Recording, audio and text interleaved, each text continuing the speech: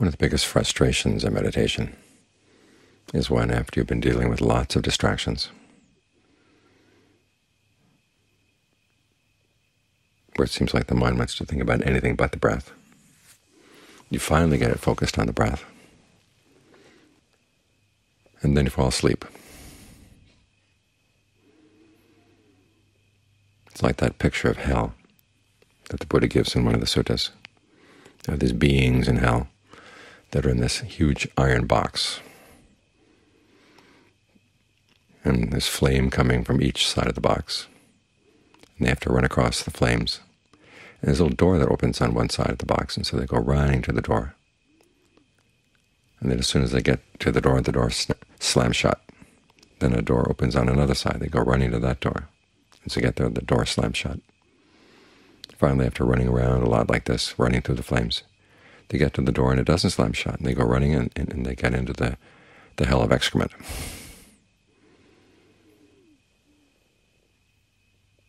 The question is, how do you find the right balance so you can stay with the breath and not be distracted and not fall asleep?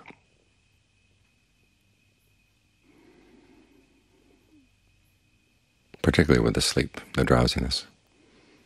There are different reasons for being drowsy. One is that the mind has too much energy, and the other is that it has not enough too much energy when the mind wants something to think about and finds the breath boring.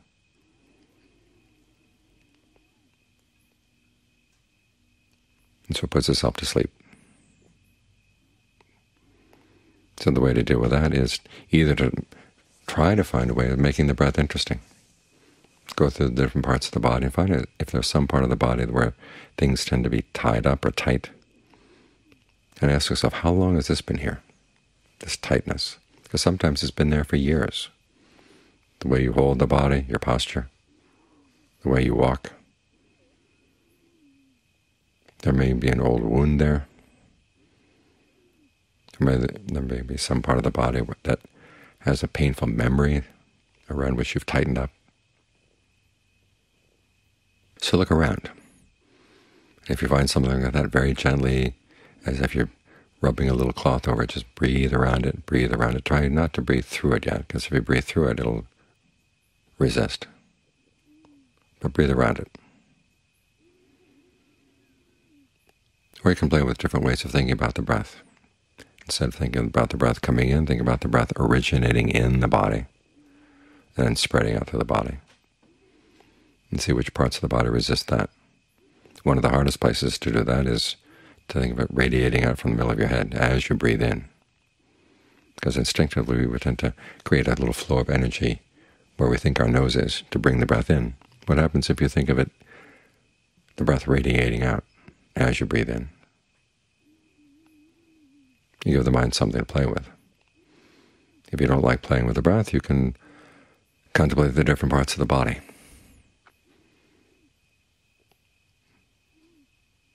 Where are the bones right now?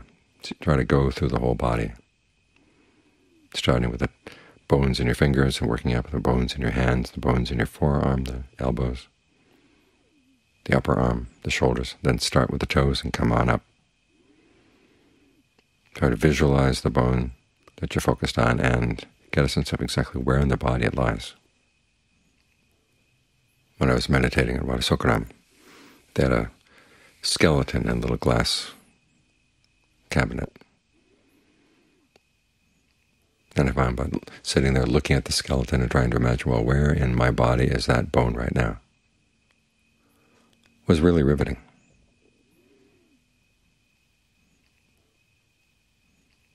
And as you begin to notice, there are some spots in the body where there's a tightness that you've assumed to be a bone, and there's really no bone there. This is a good way of clearing through some of the unnecessary patterns of tension in the body.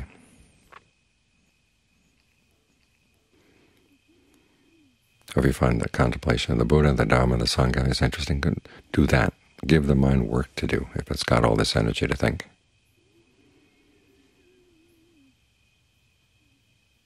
That way it won't be bored. As long as you're rooted here in the body, you're fine. Or you can try the Brahma Viharas. Ask yourself, is there anybody out there for whom you have some ill will? or anyone who's suffering, you're happy to see their suffering.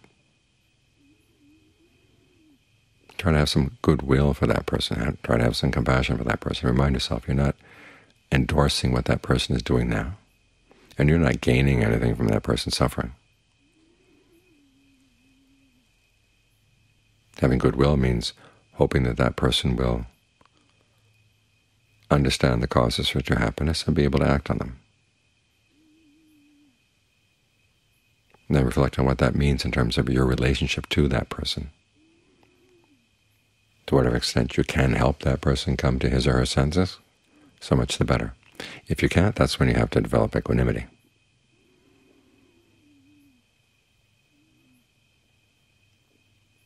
In other words, when you're doing the Brahma Viharas, it's not just thinking of radiating pink thoughts or pink rays out into the world.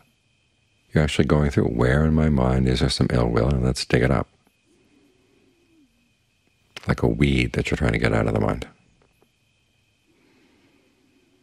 So when the mind has excess energy, you give it more work to do. That's ready to settle down, to come back to the breath. When you come back to the breath, don't focus on one narrow little point. Try to think of, try to think of the whole body all at once. You can go through the body section by section, or you can try just whole body, whole body, whole body, right from the beginning.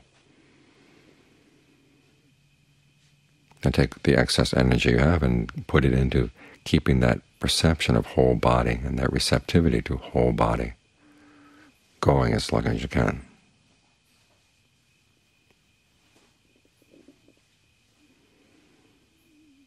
There's another reason why you might be getting bored with, as the mind settles in, is that as the mind begins to settle down, part of it will realize, okay, there's something that's going to come up in the mind and I don't want to deal with it.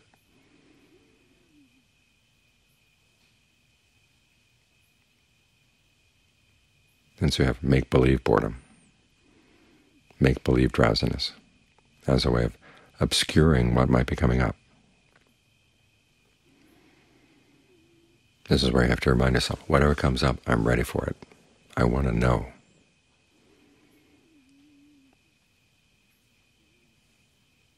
Because if I'm afraid to deal with uncomfortable things coming up in my mind, how am I ever going to gain insight?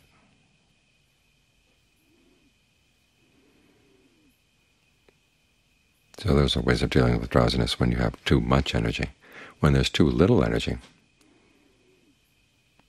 You've got to learn how to breathe in a way that gives you more energy. We have this belief that concentration has to have a nice, gentle, shallow breath to be really peaceful. But sometimes you need a stronger breath, deeper, where you put more energy into it. And when you put more energy into it, you get more energy out.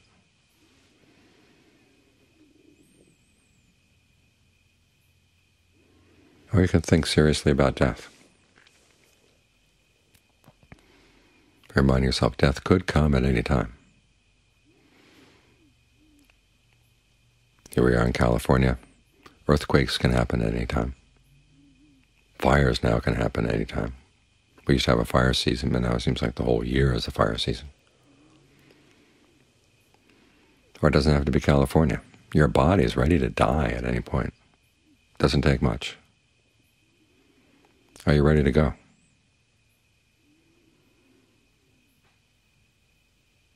The answer usually is no. Okay, what's holding you back?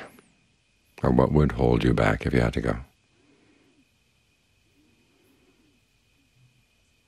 And try to actually sort through that. What would tie you down?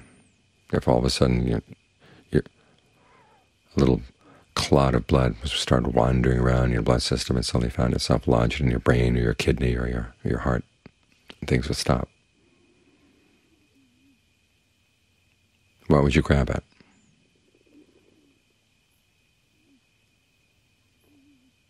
I know when I was almost electrocuted in Thailand,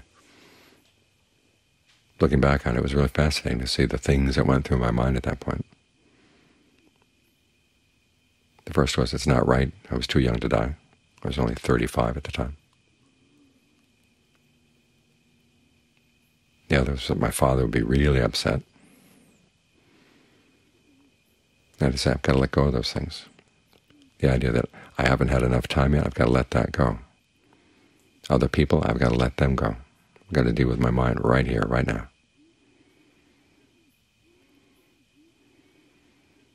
And if you haven't had any practice in letting go, it's going to be really hard at that point, because the mind is going to be desperate.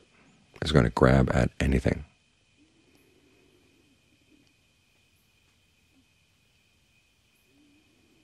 So at the very least, you should train the mind to cut through whatever the anythings might be as, as they come up. So use that as an exercise in your imagination. If you really had to go tonight, or really had to go within the next few minutes, what would your mind run to? And often that contemplation can wake you up.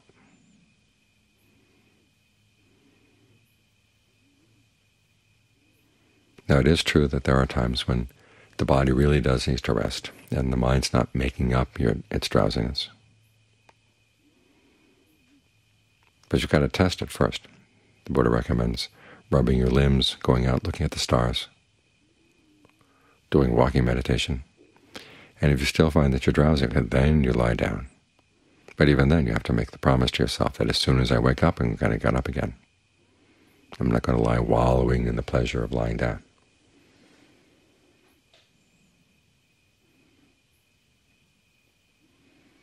Because after all, we are looking for awakening here. And part of the path means learning how to wake yourself up, even in a very mundane way.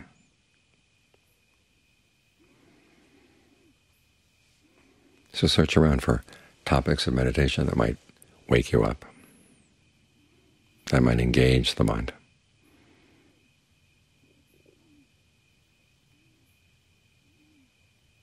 And if you're going to stick with the breath, try to work with the breath. Give yourself work to do with the breath in terms of getting it to flow in better ways, trying to find what it means to breathe with a sense of rapture, breathe with a sense of ease. And think of that bathman's apprentice who's kneading the big ball of soap powder, soap dough, basically trying to find any little spot in that ball of about soap powder where the moisture hasn't gone, or find any part of the moisture that's a little excess. So everything is rightly balanced. Everything is totally permeating the body, every little cell. Which cells are you missing? Search them out. Give yourself work to do. You're working in pleasure. You're working in the body. So it all counts as concentration. The mind is gathered around one topic. That's what concentration is. It's a gathering into one, around one. And as long as you're here, grounded, thinking along with the Dharma,